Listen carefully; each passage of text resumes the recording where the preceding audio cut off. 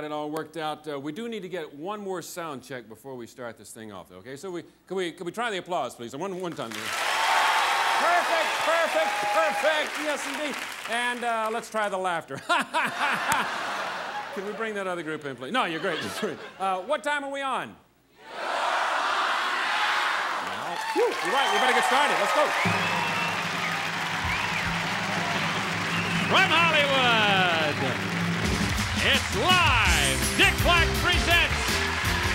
Songs of Captain Tennille, the magic of Joseph Gabriel, the laughs of Jan Karam, the music of Reba McEntire, the illusions of the Pendragons, Funny Man, Henny Youngman, and Michael Jackson's friend Bubbles the Chimp. And now, ladies and gentlemen, live, here's your host, Dick Clark. Thank you, Bob Hilton. Thank you very, very much. Ah, you are a good group. You know, when you put on a show like this, it feels sort of like a trapeze artist working without the net. Believe me, if we blow it, you will know it because it's happening right now. I was checking the newspaper. There's an awful lot to talk about, except this is uh, the last day of summer. That's about it. On September 21st, 1960, Chubby Checker was keeping everybody's weight down with his number one hit, The Twist. And if you were sitting in front of a television set back in 1964, you were about to see the first episode of The Man from Uncle. All of those things, of course, are way back there in the past. Right now, though, I'd like you to meet one of America's most animated comedians. Watch this.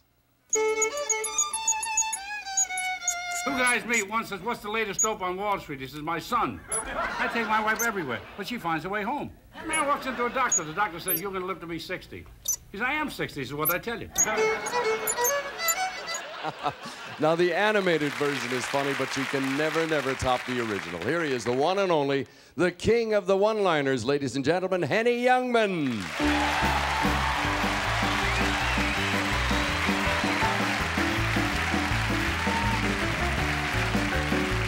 Take my wife. Take my wife, please. I had my wife down to Atlantic City. She gambled all night. Six in the morning, I said, let's go to bed. She said, I don't like the odds. I thought somebody might like that.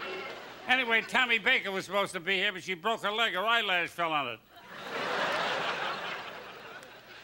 they took her makeup off. They found Jimmy Hoffa.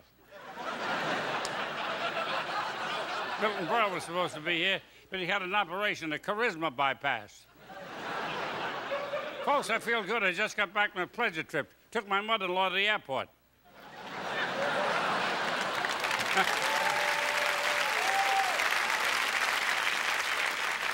my mother-in-law's in the Olympics. She's a javelin catcher.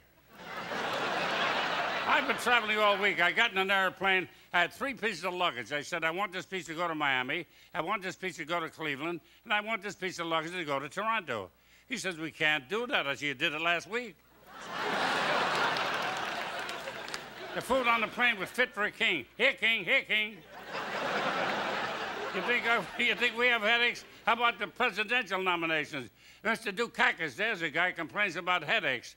Mr. Dukakis, when you get out of bed, at feet first. Mr. Bush, is he mixed up? He went to a luncheon last week. He kissed a sandwich and bit the baby. I want to.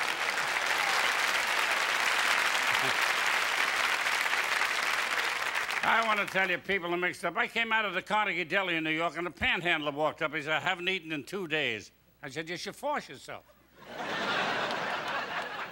Any Italians here tonight? I love the Italian people. During World War II, an Italian girl saved my life. She hid me in her cellar. It was in Toronto. I feel good. I met a wonderful doctor. He gave a guy six months to live. Couldn't pay his bill. Gave him another six months.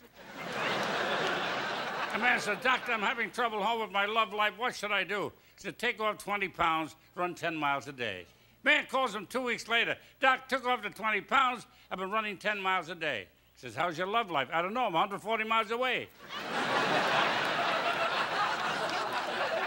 Doctor put a stethoscope to my heart. I said, Doc, how do I stand? He said, that's what puzzles me.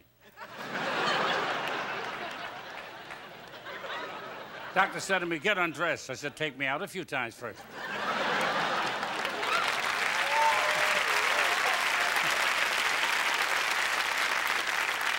Sitting there with no clothes on. The doctor said, Go over that window, stick your tongue out. I said, But what? Said, I'm mad at my neighbor. I said, Doc, I got shingles. He tried to sell me aluminum siding. I wish my grandson were here. I got a grandson. I said, What are you doing now? He says, I'm a mom back. Stands behind a truck. He said, Mom back. he does dumb jokes. You ever see a dumb guy whistle for a cab? Taxi.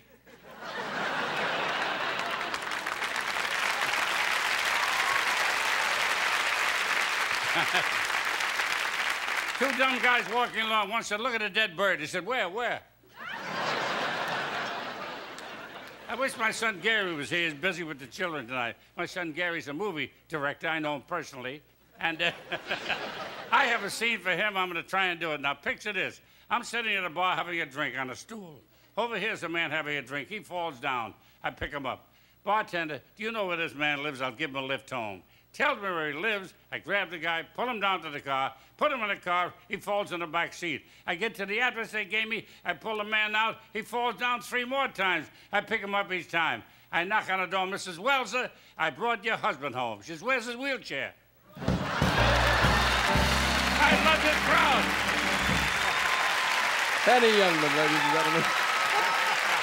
Thank you. Henny, how many years have you been in this entertainment business? I've been in show business now for about 60 years. Now, you must have, oh, 60 years. You must have done it all. Is there anything left? What more could you want? Well, all I want is an audience with an audience like you. I want to hear you laugh and applaud the things I do. Go on and call me a ham.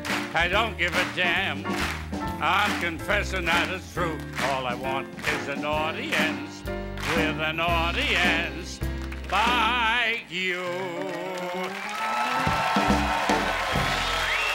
Thank you very much. Mr. Henny Youngman. Thank you, Henny.